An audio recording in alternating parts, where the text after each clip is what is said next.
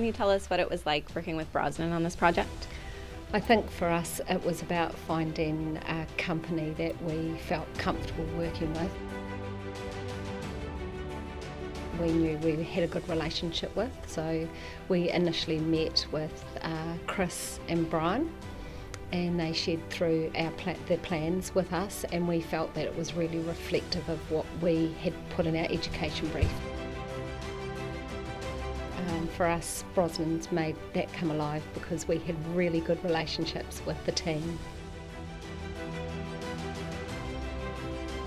So we were able to work with, um, you know, the site manager and uh, the project managers, and um, got to know each other and made made it work.